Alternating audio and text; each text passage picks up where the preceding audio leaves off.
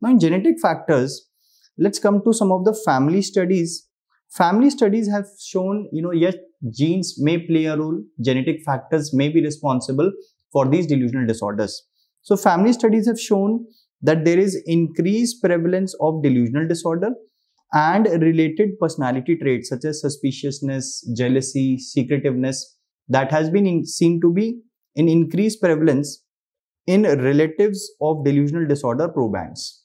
So patient having delusional disorder, it has been seen that in his relatives, these delusional disorders, these traits are seen in increased prevalence. So again, this is showing that yes, genes do play a role in delusional disorder. But when we compare it with, you know, link with other psychotic disorders such as schizophrenia or with mood disorders, when we see, is there any link? It is seen that, you know, it has failed to identify strong genetic links between delusional disorder and schizophrenia and even mood disorders. So, you know, again, we know that delusional disorders are rarer than schizophrenia also when we talk about uh, the prevalence in females again the prevalence is in female is less pronounced as compared to prevalence in females in mood disorders so it is seen that there is not much of strong genetic link between delusional disorder and these disorders. So neither we see any increased incidence of schizophrenia and mood disorders in families of delusional disorder probands so this is again one finding which is telling us that the link may be very weak, nor we see any increased incidence of delusional disorder in families of probands of schizophrenia. So again, these studies are telling us that the link between delusional disorder and schizophrenia seem to be very weak. But yes, we have talked about the delusional disorders may occur in probands, you know, relatives. So there is genetic link, of course, may be seen with delusional disorders. Now let's talk about the biological factors. Now, in the biological factors, again, there is a wide range of non-psychiatric medical conditions, substances, and you know some of the conditions which have clear-cut biological factors. It is seen that many of these many of these conditions can cause delusions. So yes, delusions have a biological cause. In fact, when we see that neurological conditions which are most associated with delusions usually they affect the limbic system as well as the basal ganglia. So these are two important areas which are implicated in delusion. So a patient having you know delusions many a times in a non-psychiatric condition these may be the areas which may cause delusion. In fact it is seen that neurological conditions which are most associated with delusions and without any intellectual impairment, they usually have complex delusions, which is very similar to delusions which we see in delusional disorder. We'll talk about, you know, in the clinical features, what type of delusions are seen. So it is seen that patients having these non-psychiatric conditions with normal normal cognition, they usually have complex delusions. While patients with impaired intellectual abilities usually have simple delusions. So thus what we can derive is that delusional disorders may involve limbic system or basal ganglia in patients who have intact cerebral cortical functioning. So again, limbic system and basal ganglia are being seen to be important areas which may be associated with delusions. So again, this is an important biological factor. Now, another biological factor or hypothesis for delusional disorder is that these delusional disorders may arise as a normal response to abnormal experiences in the environment or in the nervous system, that is the central or the peripheral nervous system. So, patient may have hallucinatory like experiences that needs to be explained. So, they may interpret the or misinterpret the experiences in the environment or in the nervous system uh, erroneously and they may subsequently may develop a delusion. For example, let us say there is a humming noise in the background or there is some noise in the environment of the person which he you know erroneously he interprets it or misinterpret as someone's footsteps so person may start experiencing that someone is following him so because there are some hallucinatory like experiences and subsequently he may start believing that somebody is following him, somebody wants to kill him. So delusions may form like this. So this is one other hypothesis which has been proposed for development of delusional disorders. Now, let's talk about some of the important psychodynamic theories. Now, many psychodynamic theories have been proposed, you know, leading to delusional disorders. So, let's talk about some important contributions. One of the important contribution comes from Sigmund Freud. So, Freud, one of the major contribution of Freud is that he demonstrated that role of projection is important in formation of delusional disorder. So what is projection? Projection is projecting one own inner conflicts or impulses onto someone else. So Freud said that projection is an important defense mechanism which plays a role in development of these delusions. So let's try to understand what is the hypothesis, how projection leads to development of these delusions. So the persecutory delusions which occur in the person, they basically, so it is hypothesized that they basically occur to, pro, to be, you know, as a protective psychological response. These occur as a protective psychological response to the conflicts which are representing threats to the self. So because of inner conflicts such as, you know, there is fear of unknown, or some of you know freud also explained you know homosexual tendencies. They may you know be defended by some of the defenses such as denial or projection. So basically it's a protective psychological response to the inner conflicts. And what happens subsequently is that it leads to affective withdrawal. The person is withdrawn from the you know from the close family members close friends. And the person also uses defensive mechanisms such as projection so that he could normalize the situation. So what he tries to do, he tries to project his own inner conflicts onto others. So this is one defense which he used. But since it continues to occur and at an extreme level, what happens is these defenses, they fail to decrease the anxiety. For some time, they may be able to control anxiety, but ultimately they are not able to control anxiety and ultimately leads to maladaptive behavior or maladaptive state of the person ultimately leading to formation of delusional disorder. So this is one important hypothesis which has been proposed by freud. Now let's talk about another important psychodynamic factor another important contribution given by norman cameron. Now norman cameron proposed or he described that there may be certain situations. In fact he gave seven situations according to him which may favor development of delusional disorder. So let's try to understand some of these situations which he described.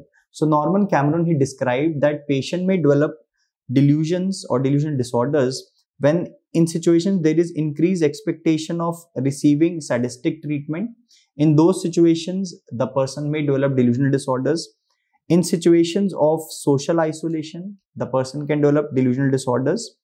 In situations when there is increased envy, jealousy is there, in such situations, someone is jealous of the colleague, jealous of the neighbors. In such situations, again, there is increase of delusional disorder, increasing distrust, suspicion, situation in which, you know, distrust is increased or there is suspicion, then also delusions can develop situations which lower self-esteem you know again somebody is being bullied somebody is being criticized you know by others by family members. Those situations also it can lead to delusional disorder.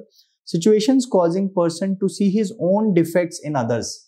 In those situations also the person may develop delusional disorders.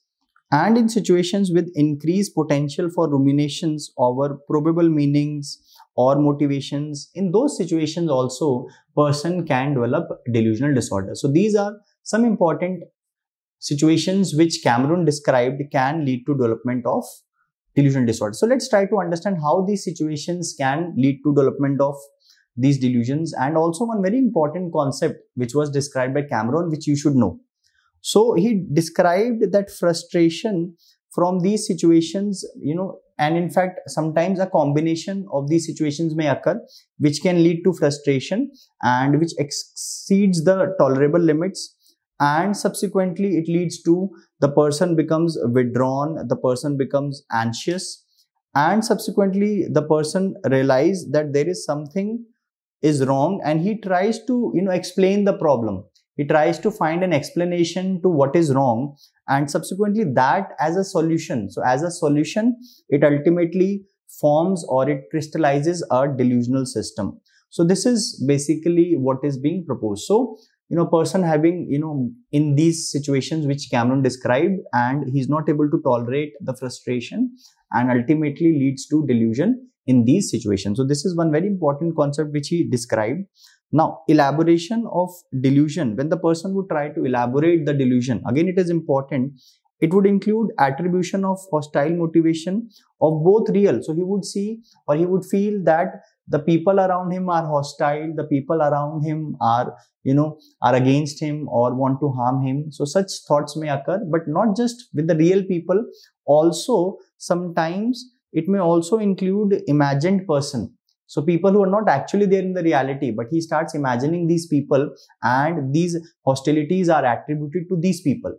So person you know may start thinking that there are people in his you know office who are against him who want to harm him. And then there may also be certain imaginative people which are not there in reality. That may also be a part of his delusion that those people are against him they are following him. Such type of thoughts or such type of delusions may occur, which subsequently results in organization of what is known as pseudo community. Again, a very, very important what is known as pseudo community, a very important concept which was given by Cameron.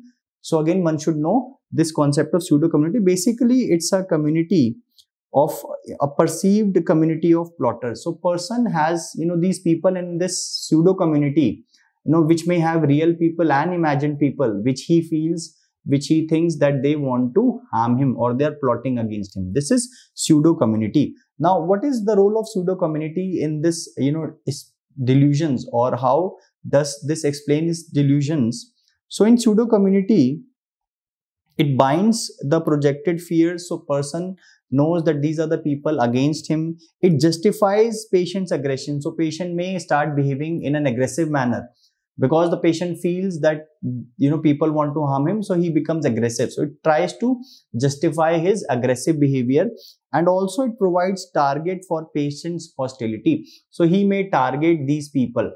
So this is again a very important concept of pseudo community which was described by cameron which may occur in delusional disorders. Now let's talk about some other psychodynamic factors now, in delusional disorders, especially paranoid patients may have lack of trust in relationship. That is, distrust may be there in relationship.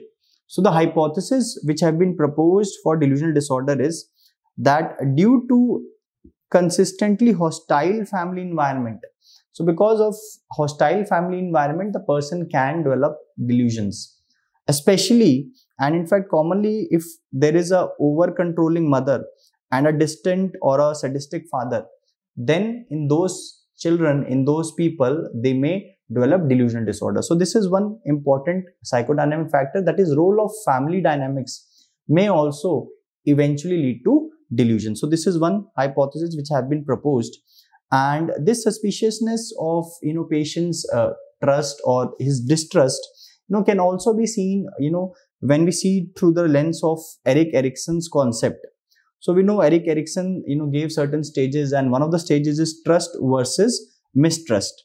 So, you know, in the early development. So in this trust versus mistrust, when a person never had, you know, healthy experience of needs which is satisfied by the outer providers, in those people, they may develop delusions. So this is one important concept of family dynamics in delusional disorder. Now let's talk about some other psychodynamic factors that is defense mechanism. So we already discussed some of the defense mechanisms can lead to development of delusions. So important defense mechanisms which are seen to be you know implicated in delusions is projection, denial and reaction formation. So these may lead to delusions. So in projection, as we discussed, the person projects his own anger, hostility onto others, basically to protect themselves from recognizing their own unacceptable impulses. So in a in a defense to you know identify or recognize their own impulses, they're projecting these impulses onto someone else. That is projection, which leads to subsequent development of delusion. The next is denial. In denial, they use denial to avoid awareness of painful reality. So there may be painful reality, you know, painful conflicts may be there, and they use denial to escape those painful realities. And even in reaction formation, it is used as a defense against aggression, dependence needs, and they are converted into the opposite, into independence. So again, reaction formation may be used as a defense for development of delusion. So these are some important defense mechanisms which one may use for development of delusions. So the next important etiological factor is the cognitive theory. So this cognitive theory has been you know proposed by cognitive and experimental psychologists and it says that there may be certain cognitive or you know errors in thinking or there is some cognitive errors which may ultimately lead to delusions. So patients with persecutory delusions, it is seen that they selectively may attend to threatening information. So many information have been given to them. They may just focus on the threatening information and subsequently it may lead to delusions. They may jump to conclusions on insufficient information. This also we had discussed when we were discussing schizophrenia that you know in formation of delusion sometimes the person just jump to the conclusion without taking all the information. So that may lead to so this error of judgment that may lead to development of delusions. So basically what happens the person attributes negative events to external personal causes and difficulty in contemplating others intention. So these factors ultimately may lead to development of delusions. Also another you know a hypothesis which is postulated for the development of delusion is the patient may have preferential recall of threatening events. So he may just preferentially or selectively just recall some of the threatening events. So many things happened in the past the person but recalls these threatening events and ultimately may lead to development of delusions. So these were some of the important theories which have been proposed. Now, there are also some important risk factors which have been seen which increase the risk of development of delusion. Some of these risk factors, again, we don't have exact pathogenesis, but it has been seen that in many of these situations, there is an increased risk of development of delusional disorders. So the first is sensory impairment. Now it is seen that patients who are you know deaf or who are visually impaired in these people there may be increased risk of delusion so again if there is sensory deprivation suppose someone is not able to see clearly because of let us take an example because of darkness. So the person may become you know persecuted the person may be suspicious. So you can understand it like this. So in these people you know having these impairment it has been seen that there may be increase in delusional disorder. Then even in social isolation and recent migration, immigration, again, there may be increased risk of delusions. Again, you know, in recent immigration, there may be limited ability to learn new language. You may not be able to know what people are talking around or what is happening around. In those situations also, there may be an increased risk of delusions. Then advanced age, again, advanced age may increase vulnerability to develop delusions So advanced age is also a risk factor for development of delusional disorder. Having a family history of delusional disorder again increases the risk and certain personality features which a person may have